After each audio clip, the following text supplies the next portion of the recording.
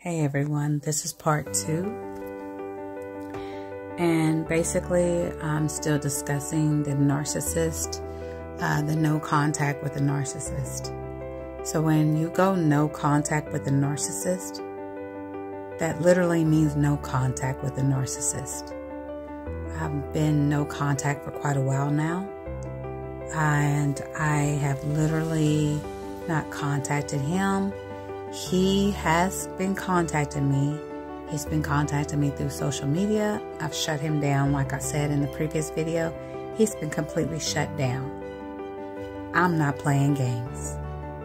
I have basically shut him down on all freaking levels.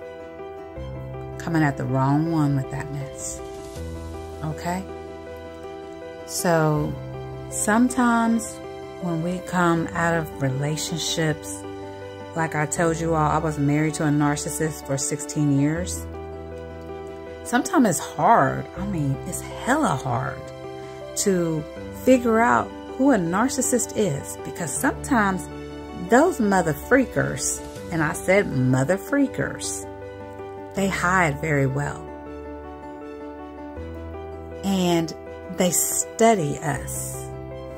Um, this dumb mother freaker thought I was uber religious. Anyone that knows me knows I am not uber religious. I'm far from it. I believe in God. I do. But I'm also spiritual. Okay? And I know that God is a good God. But I also know that I have an open mind. And I'm not going to close my mind. Narcissist. I'm not going to close my mind. So basically, the narcissist contacted me today.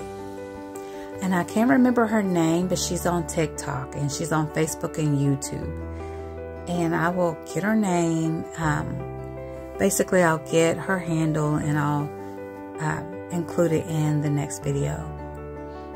Basically, she talks about how the narcissist will use ex-wives, ex-girlfriends, sisters, baby mamas, whatever to contact you.